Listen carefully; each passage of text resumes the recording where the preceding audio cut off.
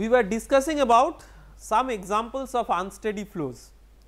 And uh, while discussing unsteady flows we first discussed about a classical flow where there was no confinement and there was an oscillating boundary because of which fluid motion was actuated. And that is known as uh, uh, I mean these kinds of problems where the boundary is set into motion or the boundary is set into oscillation these are classical problems in fluid mechanics. We studied one such problem in detail where the plate was moved suddenly in one particular direction and that allowed the fluid in the vicinity to move in the same uh, direction. So, that was the classical Stokes first problem and uh, then we discussed about the motivation of studying these kinds of problems which are uh, like shear driven flows and then we try to uh, figure out that what would be the change in the scenario if there instead of a free uh, instead of an open environment in one side there is a confinement. That means uh, that you have a plate like this which is moving towards the right say with a velocity u1 and you have another plate which is uh, stationary and the gap between the two plates is h. When h tends to infinity then uh, the problem is like the classical Stokes first problem. So, this can be thought of or imagined as a Stokes first problem with confinement right it is a modified version of the Stokes first problem. Or in terms of uh, the classical Couette flow also it is like a Couette flow. We are it is it is basically a Couette flow because you have two parallel plates. One plate is moving relative to the other. It is a Couette flow, but we are interested in the unsteady state solution of the Couette flow problem. Now, uh, let us try to see let us try to see that what is the steady state behavior of this it is well known to uh, all of you, but just to recapitulate So, the first the governing differential equation for the general flow problem is what?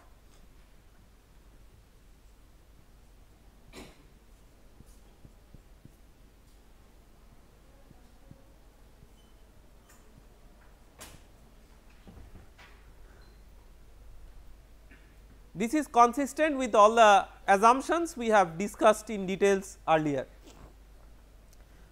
Now, uh, before moving on to the steady state solution what we will do is we will non dimensionalize this problem. So, we define u bar as u by u reference there is a natural reference velocity scale which is u1 y bar is y by h unlike the Stokes classical Stokes first problem here the natural length scale is h and then there is a natural time scale. The time scale is a function of the nu and the h. So, that can be worked out by noting that the order of magnitude of this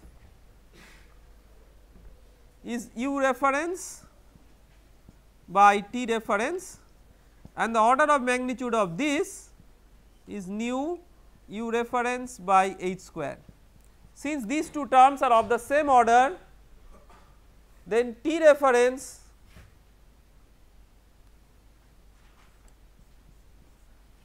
this implies that T reference is equal to h square by nu.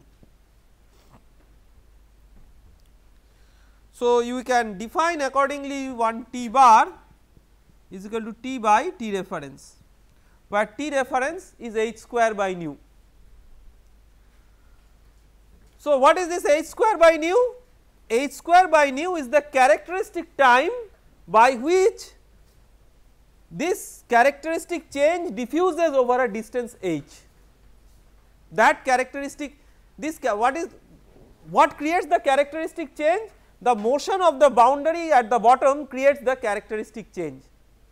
And that motion gets propagated into the fluid because of viscous effects. And the characteristic time that it takes to get transmitted up to a distance h is h square by nu. So, that is the characteristic time scale based on h as a characteristic length scale.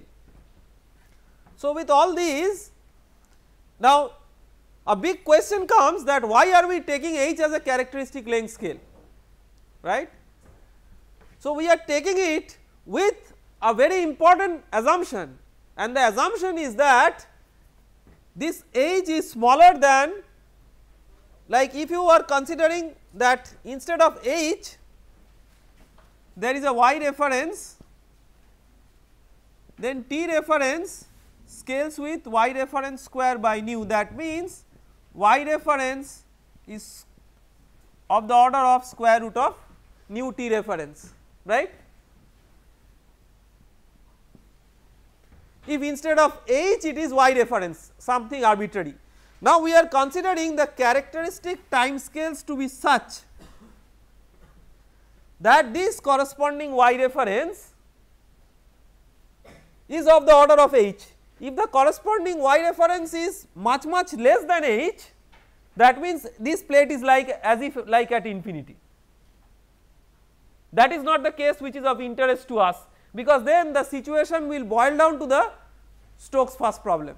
In fact, I will ask you to work out a homework where you have to show that under what limiting conditions the solution of this problem boils down to the solution of the Stokes first problem uh, effectively, but that you can do after we complete the solution of this problem.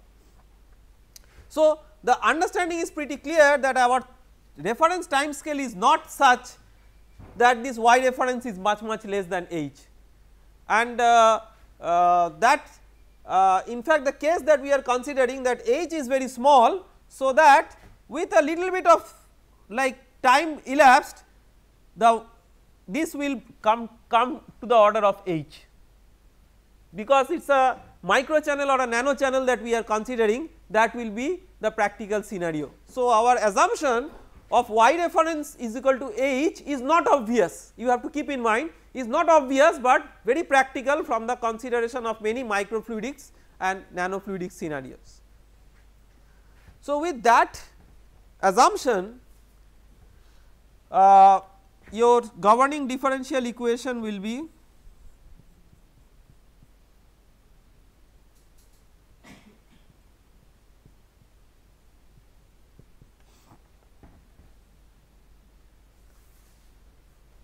Now,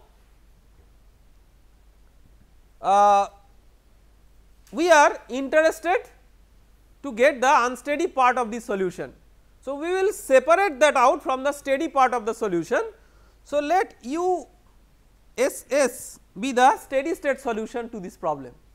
So, what is u s s? u s s uh, bar means non dimensional, non dimensional steady state version of the solution to this problem. So, the steady state version of the solution to this problem will be governed by this equation with the unsteady term equal to 0. Same equation, but with unsteady term equal to 0. So, if we put the unsteady term equal to 0, then uh, this if we integrate it twice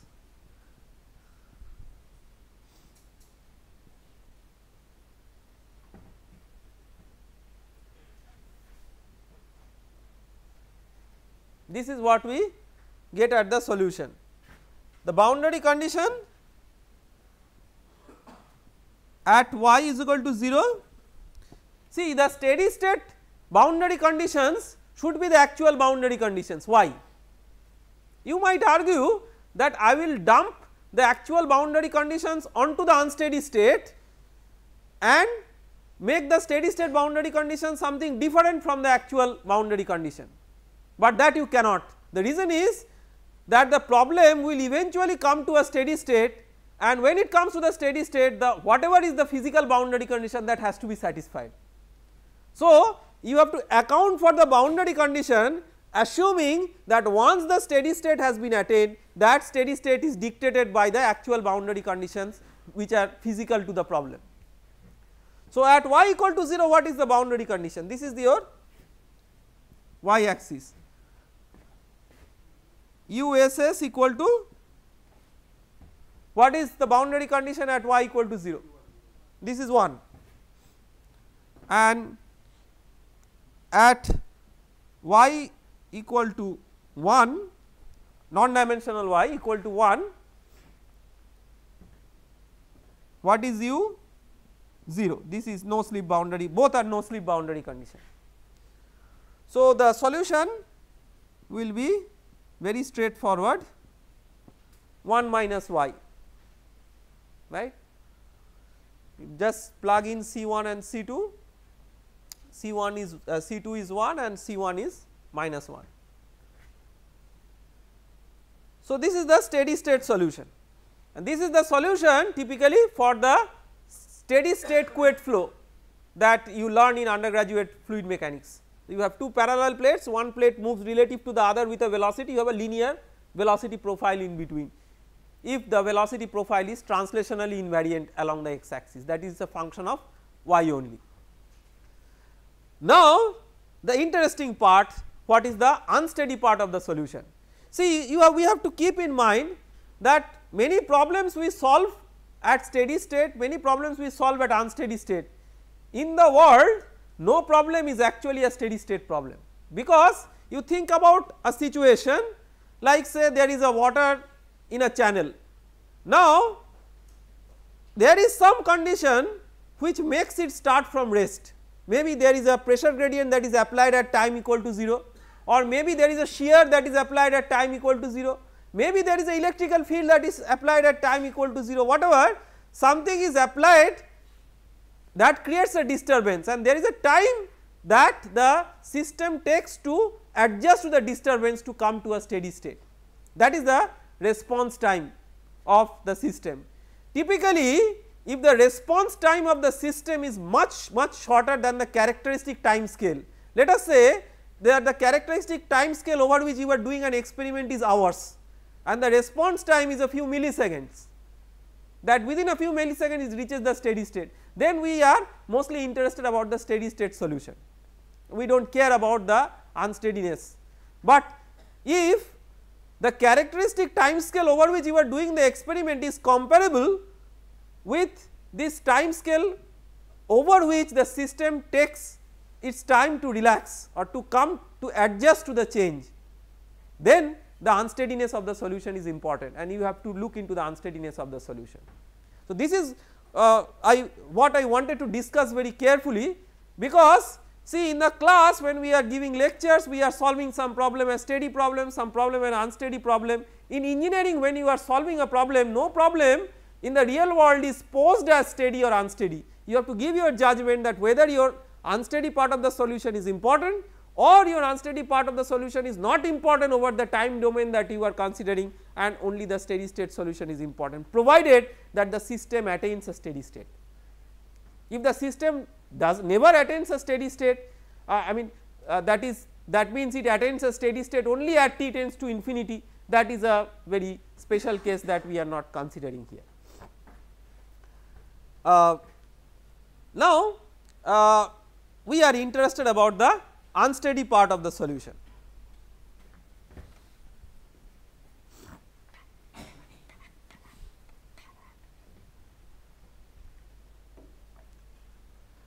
So, what we are writing is we are writing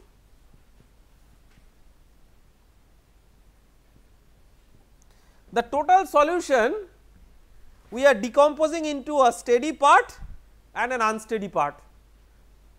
How can we make this decomposition? We can make this decomposition because eventually if a steady state is attained the unsteady start part should be 0 and there will be a steady state solution. So, the unsteady solution should be decoupled from the steady state solution. So, then uh, you can write here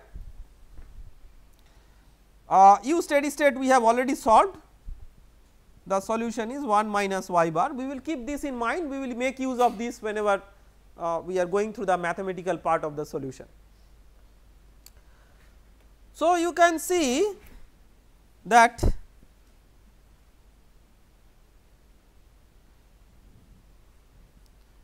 the time derivative of u bar is same as time derivative of u hat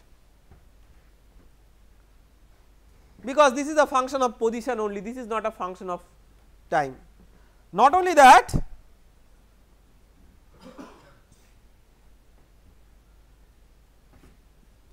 the time the second order spatial derivative of u bar is same as second order spatial derivative of u hat.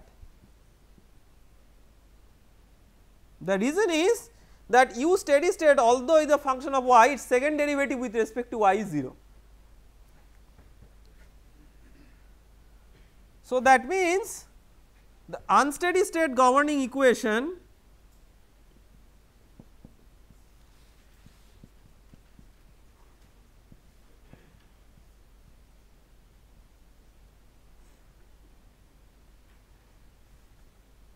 remains same if we write it in terms of the unsteady part of the solution. Boundary conditions?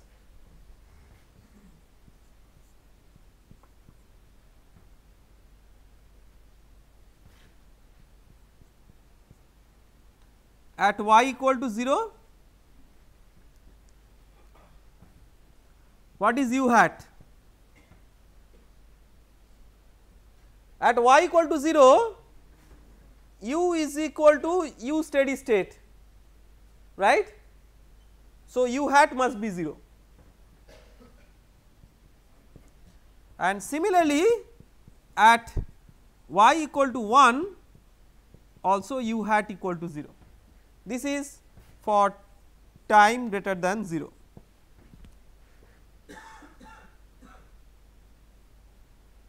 And initial condition is everything is stagnant at time equal to 0. So, you can see that by decoupling the steady state solution from the unsteady solution we have achieved another interesting feat. What is that? We have made all the boundary conditions homogeneous. So, that is a mathematical way of looking into the scenario, but that is what it has made. See had we considered the complete solution for the complete solution the boundary condition at y equal to 0 is not homogeneous, but for the unsteady part of the solution the boundary condition at y equal to 0 is homogeneous that is at u u u hat is equal to 0 at y equal to 0.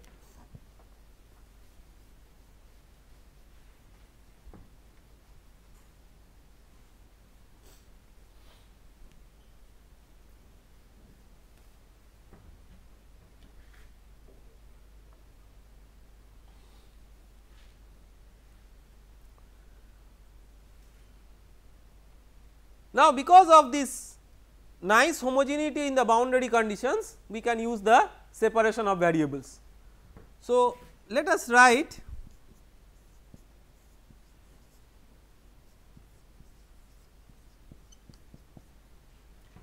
u hat as a function of y into a function of time right that is the method of separation of variables. So, uh,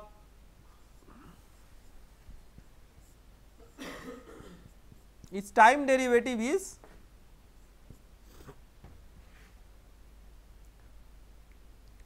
f into g dash right and second order spatial derivative f double dash into g. So, if you substitute that in the governing equation you will get f g dash is equal to f double dash g. So, f double dash by f is equal to g dash by g. Question is, So, this is uh, I mean by this time you have now appreciated that why we are interested to write it in this way? This is a function of y only. This is a function of t only.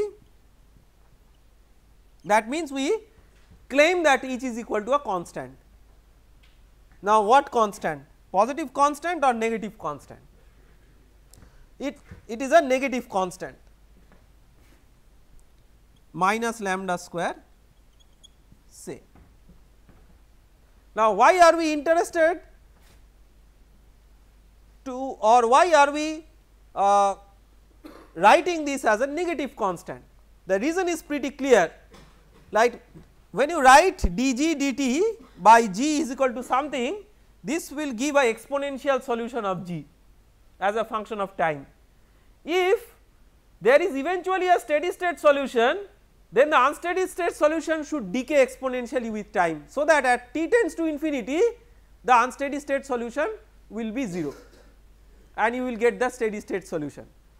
So, that means there must be an exponential decay so, the coefficient coming with the exponentiation at the top that should be a negative constant. So, that it is a decay and not a rise that is why this minus lambda square. So, uh, let us complete this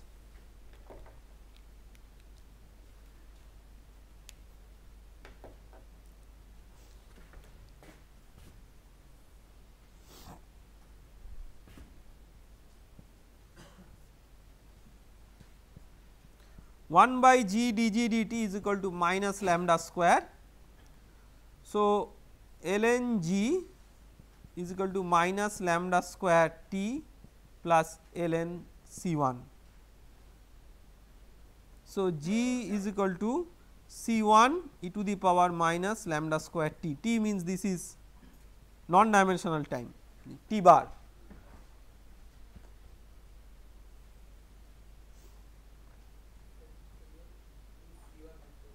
I have used C1 before for this problem okay then C1 C2 we have already used before so C3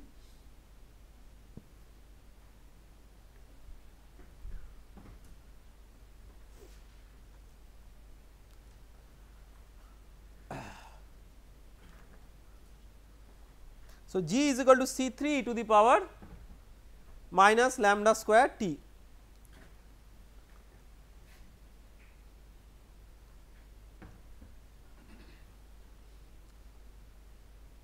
Then the functions of y. So, f double dash plus lambda square f is equal to 0. So, what is the solution of this in terms of sine and cos right. So, f is equal to C 4 cos lambda y plus C 5 sin lambda y, y means y bar. Now, let us apply the boundary conditions.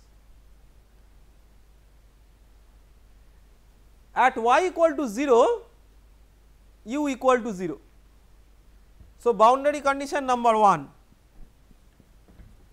at y equal to 0 u equal not u u hat basically u hat equal to 0 means f is equal to 0.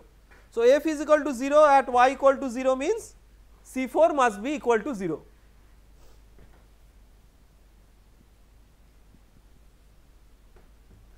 And boundary condition 2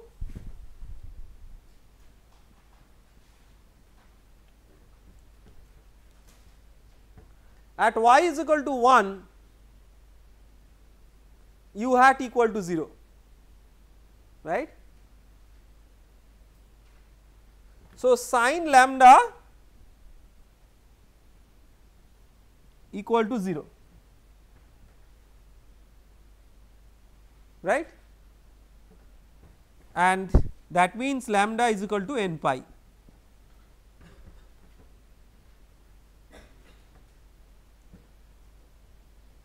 I just want to reiterate that instead of sine lambda is equal to 0 had we considered C5 equal to 0 that would also have satisfied this boundary condition, but that would have given rise to a trivial solution that u hat equal to 0. So, here we are seeking values of lambda that will give us non trivial solution for this problem and that makes it an eigenvalue problem. Okay. So, how many such va possible values of lambda are there? There are infinite number of such possible values of lambda. So, we call this lambda n lambda with subscript n which is equal to n pi. Now,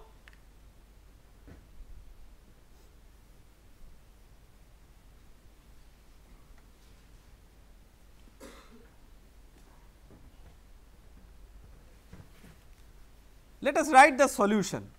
U hat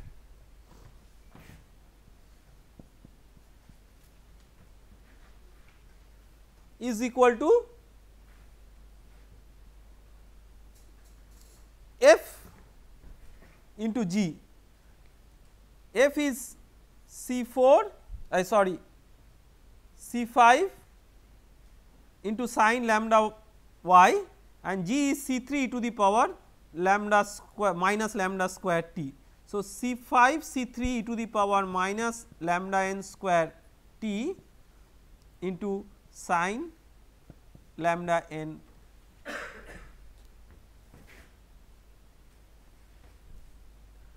sine lambda n y. and because so first we can replace this C 5 C 3 with a constant or just a name a and give it a subscript n because that constant is different for different n's and because it is a linear problem the resultant solution is a linear superposition of solution for all possible values of n that makes it sigma n e to the power minus lambda n square t sine lambda n y. How do we find out n?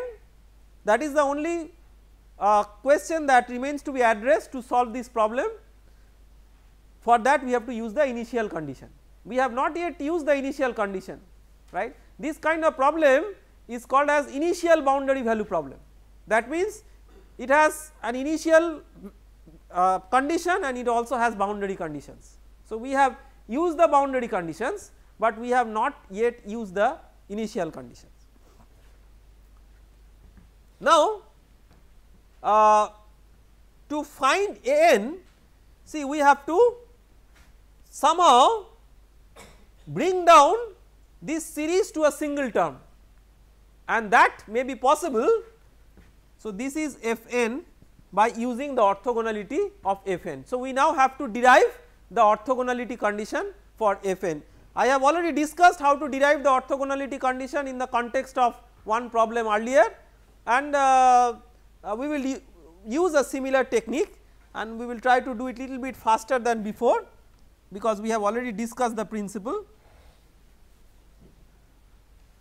So, the eigen function for the eigen function f n is given by this equation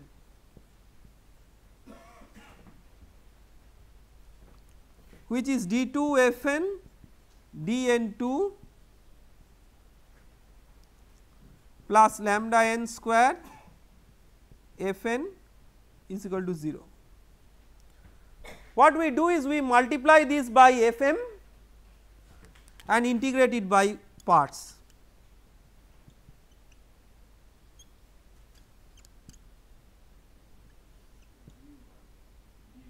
Sorry, dy.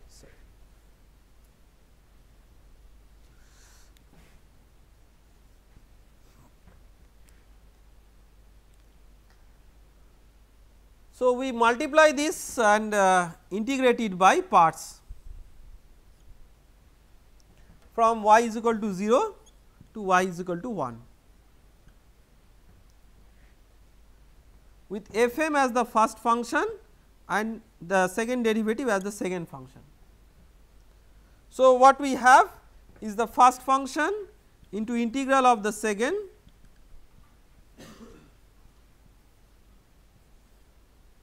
minus integral of derivative of the first function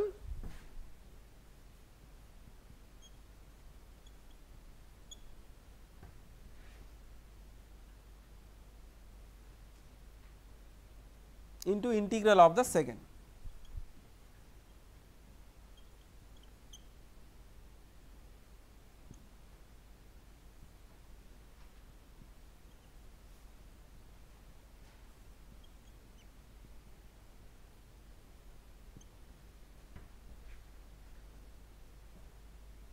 Okay.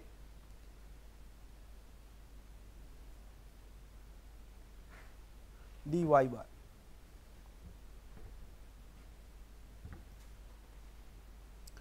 Now, the boundary term clearly see f f is an indicator of what u hat u hat is 0 at both y equal to 0 and y equal to 1. So, that makes this term 0. Now, if you so there will be a dy bar here. Let us write this. If you swap m and n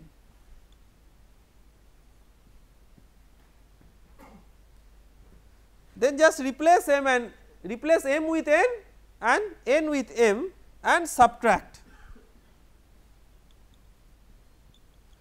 Whatever is that new equation by swapping m and n that equation you subtract from this equation. So, what you will get lambda n square minus lambda m square integral of f n f m dy is equal to 0.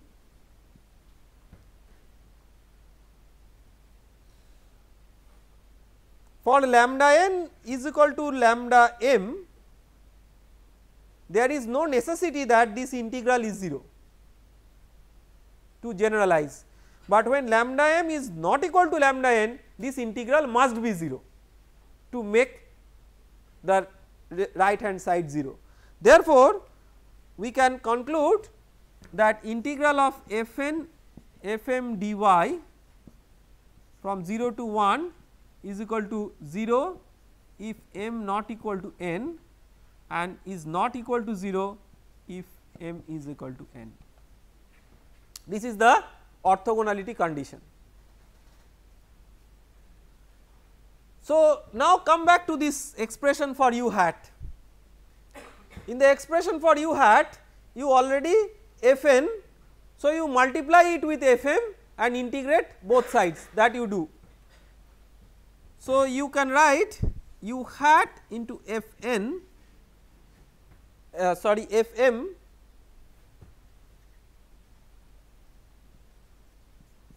is equal to summation of a n e to the power minus lambda n square t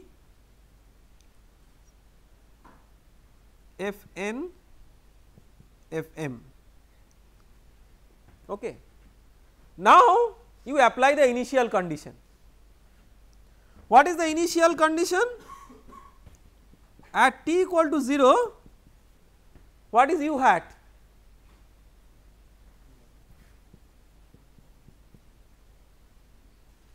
U hat is equal to minus uss because u is 0. So, u is u hat plus uss. So, that is equal to minus of 1 minus y.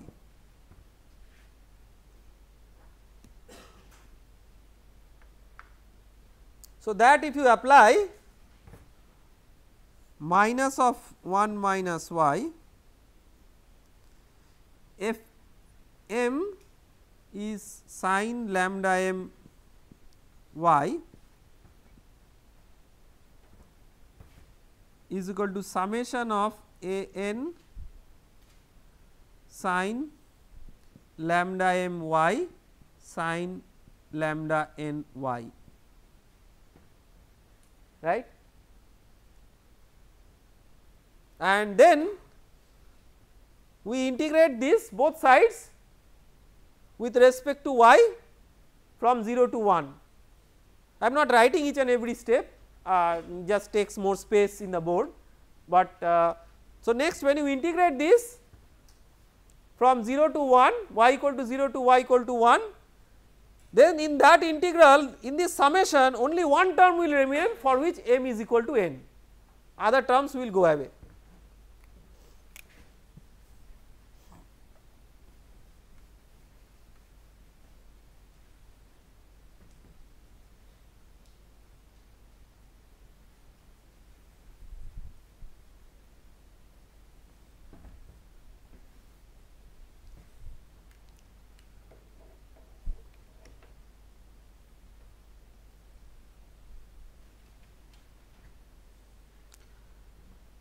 So, that will mean that minus of 1 minus y bar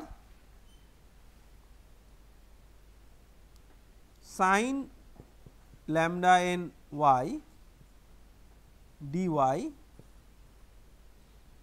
from 0 to 1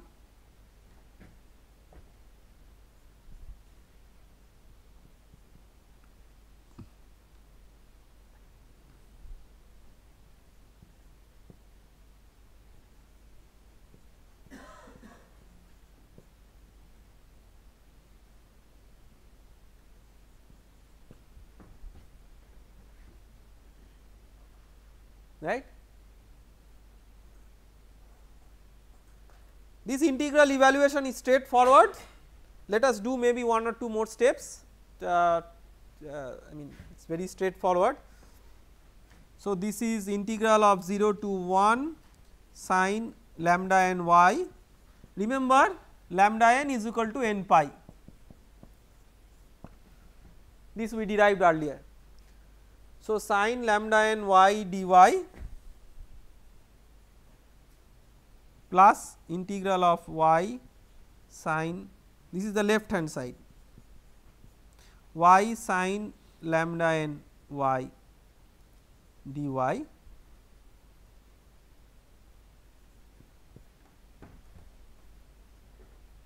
zero to one.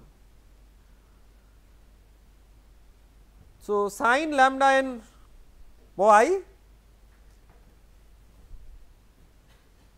this will be so this becomes cos lambda n y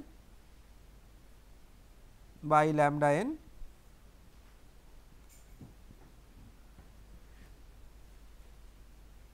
zero to one. Then next one we can do integration by parts. First function is y into integral of the second minus cos lambda n y by lambda n minus integral of derivative of first into integral of the second that will make a plus sign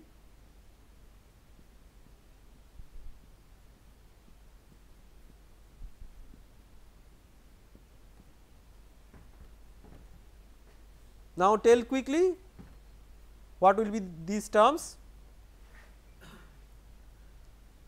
So, uh, cos lambda n by lambda n then uh, minus 1 by lambda n then this term again minus cos lambda n by lambda n. The subtracted term is 0 because y is 0 then this one plus sin lambda n y by lambda n square. That term becomes 0 so, eventually you are left with minus 1 by lambda n in the left hand side. If I make any algebraic mistake please point out. So, this will be minus 1 by lambda n.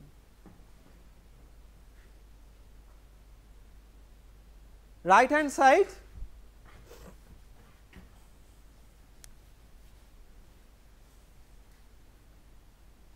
See for each and every problem I will not work out all these details, but initially at least for one or two problems I want to show you that how you can arrive at a very compact solution. Uh, the right hand side a n into integral of sine square is half into 1 minus cos 2 theta cos 2 lambda n y dy 0 to 1.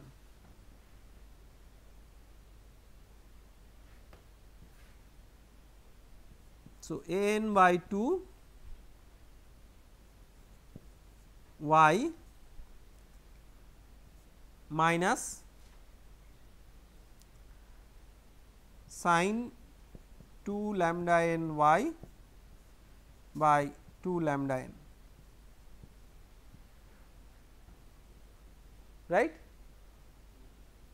So, this term will be 0 considering lambda n is equal to n pi. So, this will be a n by 2. So, left hand side is equal to right hand side this implies n by 2 is equal to minus 1 by lambda n that means n is equal to minus 2 by lambda n. So, u hat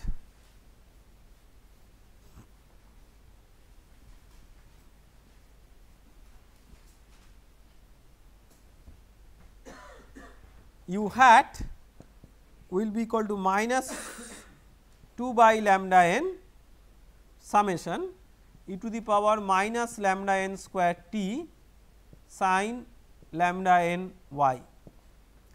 And the general solution is u hat plus u steady state. So, minus summation of 2 by lambda n e to the power minus lambda n square t sin lambda n y plus 1 minus y bar where lambda n is equal to n pi.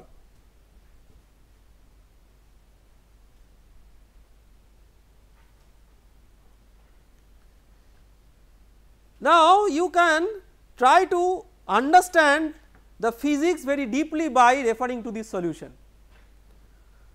So, the first question is that how quickly the system will attain steady state. So, how quickly the will the system attain steady state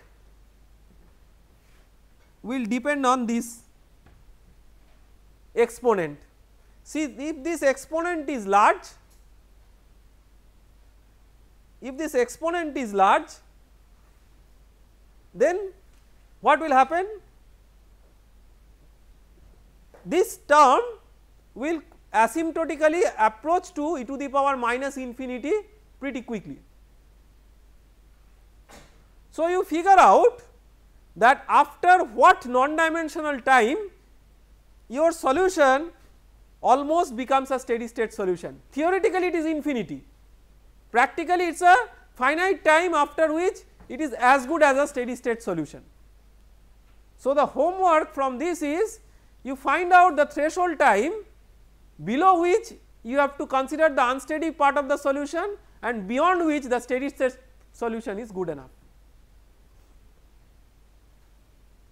And that you can simply do by making this function plotted as a function of time and y for different values of time and y on a single plot. You will see that after some time you will get the solution which is like the steady state solution which is the linear solution linear velocity variation between the two boundaries.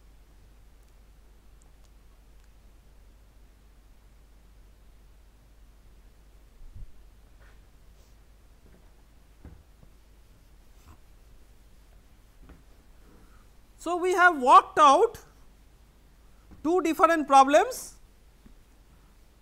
of a suddenly driven boundary. In one case there was no confinement and in another case there is a confinement. Now, we will do a similar exercise,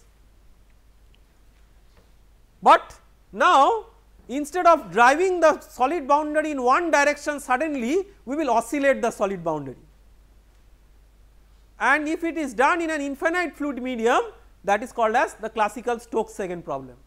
So we will discuss about the Stokes second problem first and uh, then we will discuss about that how the solution of this problem is modified if a similar forcing parameter you put with a confinement. So, first uh, Stokes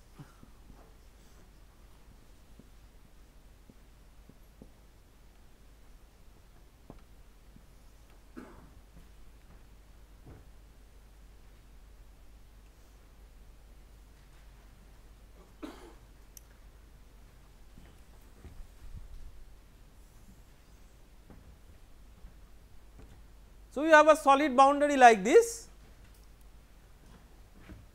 and an infinite fluid medium. There is no natural length scale in the y direction and this plate is oscillated. Let us say with a velocity u is equal to u 0 sine omega t. Just as an example I mean you could make it cos or combination of sine and cos whatever many things you could do but uh, just as an example. See uh, any arbitrary oscillation if you could decompose into a Fourier series with a large number of sine and cosine terms then one such sinusoidal variation can give a signature to the total characteristics of the system. So in reality one may not have uh, a classical sinusoidal like uh, the typical pure sine or pure cos type of uh, uh, time variation of the velocity. But this actually will give a signature even in situations when the boundary motion is much more complicated. So that is why these are very classical problems which can give you a strong classical basis of approaching more and more involved problems by using the same concept. Omega is the frequency at which the plate is being oscillated. So, this type of flows is called as oscillatory shear flow. Like you have a shear, you have a shear that is created, but the, the shear is created by the movement of the plate, movement of the solid boundary that creates a velocity gradient. Uh, but that shear is an oscillatory function of time, it is not a time independent shear that is imposed. So, that is called as oscillatory shear flow. Just like the previous scenario, we will start analyzing the problem by writing the governing equation and describing the time scales and vel velocity scales and uh, length scales and so on. So, the governing differential equation see governing differential equation will not depend on whether the boundary is pushed in one direction or is oscillated governing differential equation will still remain the same.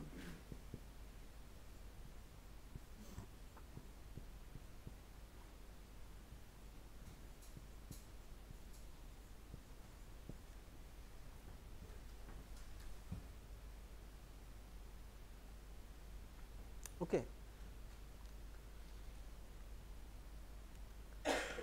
Now let us try to non dimensionalize the scenario. u bar is equal to u by u reference. What is a good choice of u reference? u naught that is the amplitude of oscillation velocity.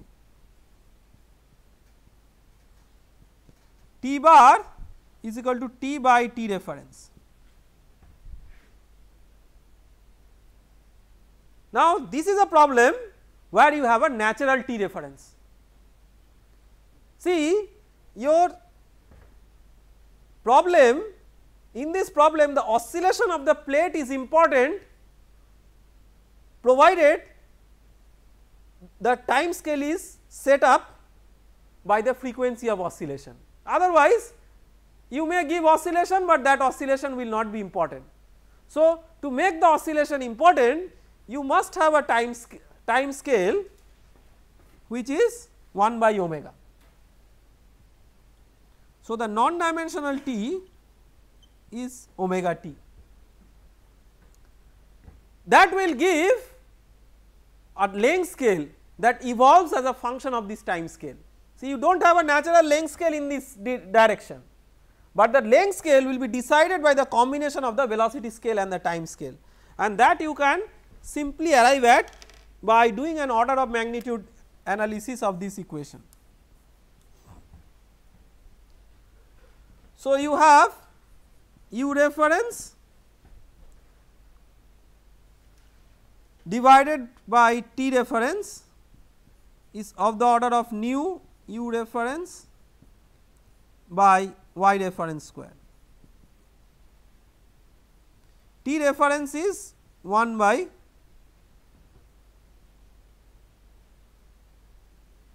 omega. So, y reference scales with square root of nu by omega. So, that means you can clearly see that what is the length scale up to which the oscillation of the plate is felt. So, this is like a boundary layer. So, you have the you know the kinematic viscosity, you know the frequency of oscillation. So, the ratio of that square with a under a square root that becomes a natural length scale for that problem. So, within that length scale only the effect of oscillation of the plate is felt. If you go beyond this length scale then the effect of oscillation of the plate is not felt. So, if you consider these scales then we will set up the problem. So, you have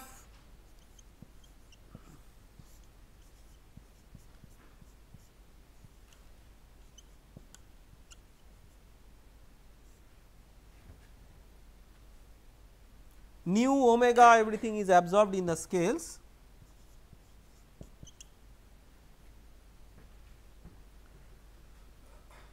So, this is a solution uh, this is the governing equation and this governing equation should have a solution which is spatiotemporally recurring over both position and time right.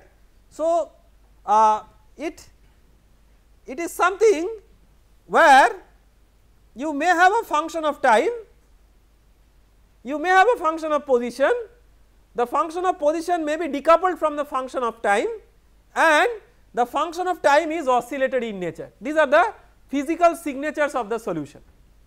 So, there are many ways of getting a solution of this.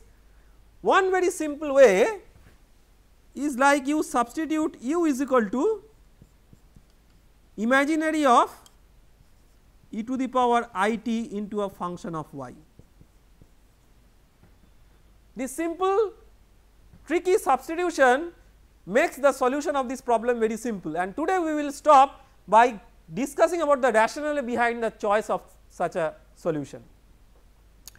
So, first of all you see e to the power i t will have sine and e to the power i theta is what cos theta plus i sin theta. So, you have both a sine and cosine term and that will mean that you can represent a sinusoidal variation with a phase. So, that is the time variation. Positional variation is not like that. So, you have a spatiotemporal variation where the temporal thing is sort of time periodic, time periodic but in addition so here you have a pure sine term but you can also have a cosine and sine combination associated with that to account for a phase. The phase there, there can be a phase difference between the way in which you oscillate and the way in which the fluid responds to that oscillation as a function of time. Frequency will remain the same.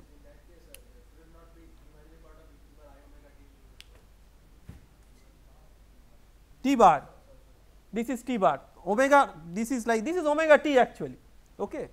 So, I omega t omega t is T bar. So, then why this imaginary? The imaginary is because the boundary condition you are given you have given sine omega t. So, this solution has to satisfy the boundary condition and at the boundary. So, you know the imaginary part of e to the power i theta is sine theta. Okay. So, had I given this plate an oscillation u 0 cos omega t this would have been just real.